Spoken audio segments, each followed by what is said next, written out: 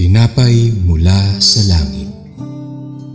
A daily morning devotion with CRC family. Isang mapagpalang umaga po sa inyong lahat. Ako po Sister Jenny Gabi ng CRC Calamba Daughter Church na inyo pong makakasama ngayong umagang ito sa programang Tinapay mula sa langit at ang araw-araw na pagbubulin natin ng salita ng Diyos. Ang ating pong paksa ngayong umaga, ito ay part pa rin ng ating Genesis series at ito ay pinamagatang Jacob named as Israel na matatagpuan sa Genesis 35, 16 to 15. Basahin po natin sa verse 6, nang dumating sila sa Luz sa lupain ng Kanaan, Verse 7, gumawa siya ng altar at tinawag niyang El Bethel ang lugar na iyon sapagkat doon nagpakita sa kanya ang Diyos nang siya'y tumakas mula sa kanyang kapatid. Verse 8, namatay si Deborah ang nag-aalaga kay Rebecca at inilibing sa tabi ng malaking puno sa gawing timog ng Bethel at ang dakong iyo'y tinawag na roble ng pagluha. Verse 9, pagbalik ni Jacob mula sa Mesopotamia, muling nagpakita sa kanya ang Diyos at siya binasbasan. Verse 10, Jacob ang pangalan mo, ngunit mula ngayon, Israel na itatawag sa iyo. Verse 11, sinabi Sinabi pa sa kanya, Ako ang makapangyarihan Diyos.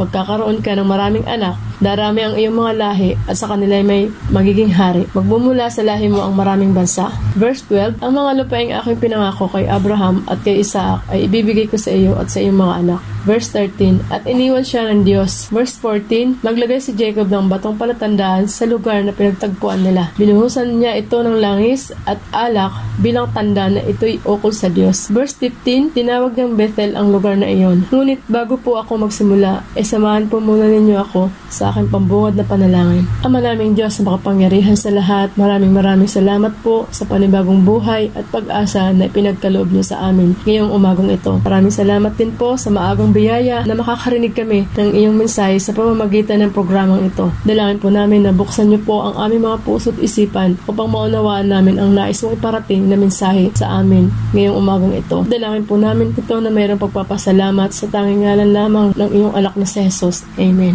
Mahalaga ang pagsunod sa utos, magulang man o sa boss nating pinagtatrabahoan sapagkat dito na susukat kung gaano tayo katapat sa Kanya. At sa bawat utos na pinapagawa sa atin ay buong puso natin itong tinatrabaho upang ma-impress natin kung sino man ang nag-uutos sa atin, lalo na kung tayo ay may hinihinging favor. Paano kung ang Diyos na may-ari mismo ng sanlibutan ang may iutos sa iyo? Siyempre, mas lalo pa nating pag-iigihan dahil alam natin na sa bawat pagsunod natin sa Kanyang utos ay kaakibat ito ay blessing o pag pagpapala. Dito sa ating binasa, makikita natin kung paano sinunod ni Jacob ang utos sa kanya ng Diyos. Maging sa mga naunang kabanata ng aklat na ito, mula nang siya ay bumalik sa Kanaan hanggang sa pagtatayo ng altar sa Bethel, ay sinunod ang utos ng Diyos. Mapapansin din natin na binago ng Diyos ang tawag sa kanya o pangalan. Mula Jacob ay tinawag na siyang Israel, nang ibig sabihin nakipagbuno sa Diyos or fighter of God. Ibig sabihin ay sumisimbolo ito ng hindi pagsuko sa anumang pagsubok sa buhay. At dahil sa hindi niya pagsuko sa anumang pagsubok sa buhay, ay tinanggap niya ang basbas na nagbumula kay Yahweh, na daramihang kanyang lahi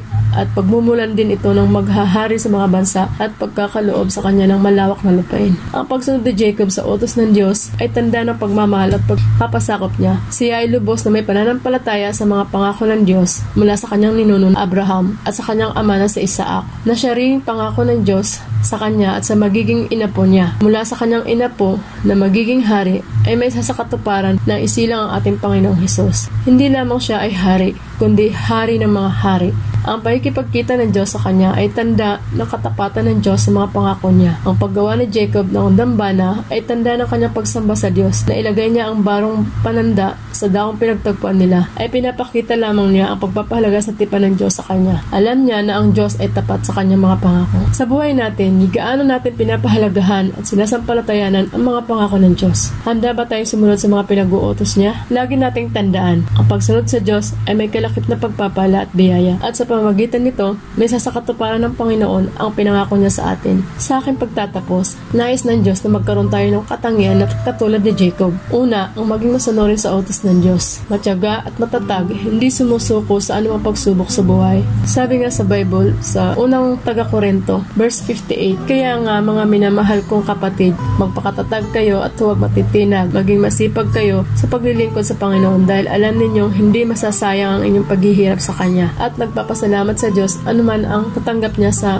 buhay at ito naman ay matatagpuan sa unang Tesalonika, verse 18. At magpasalamat kayo sa Diyos sa lahat ng pagkakataon sapagkat ito ang kalooban ng Diyos para sa inyo, sa inyo pa ikipag-isa kay Kristo. Manalangin tayo. Amang banal na makapangyarihan sa lahat, maraming salamat po sa aming natunghayang mensahe ngayong umagang ito. Naway magkaroon kami ng katangian na kagaya ni kay Jacob na kung saan siya ay hindi siya nag-atubiling sumunod sa mga utos ng Diyos. Ang pagiging matatag sa anumang mga pagsubok sa buhay ay palaging pagpasalamat sa anumang bagay na aming natatanggap. Nawa po ay tumimo po ito ang mga katangian ito sa aming mga puso at isipan at mai-apply namin ito sa aming mga buhay. Di man palitan ang aming pangalan ng Diyos, subalit kaakibat naman ito ay pagpapalang nagmumula sa iyo, tulad ng pagpapalang ginawa niyo kay Jacob. Patuloy pa rin namin pinapanalangin ang kaligtasan ng aming bansa sa anumang mga sakit at dulot ng pandemya ito, ang pagkakaroon ng kapayapaan pagitan ng mga bansang Ukraine at Russia. At higit sa lahat, amin din pong dinadalangin ang mga bagong nahalal na mga namumuno sa aming bansa na magkaroon sila ng knowledge and wisdom sa pagpapatakbo ng aming bansa at magkaroon sila ng banal na takot sa iyo na sa ganoon ay hindi sila gumawa ng bagay na hindi ayon sa iyong kalooban. Ito po ang aming samot panalangin sa tanging ngalan lamang ng iyong na sa Jesus. Amen. Maraming maraming salamat po sa maikling oras na inyong inilaan upang ako ay inyong samahan sa programang Pinapay mula sa langit. Muli ko po kayong inaanyayahan sa araw ng bukas papakinggan at pagbulay-bulayan ang salita ng Diyos sa programang ito. Feel free po to share this video upang maging pagpapala din po kayo sa iba. And don't forget also to subscribe to our YouTube channel, CRC Family,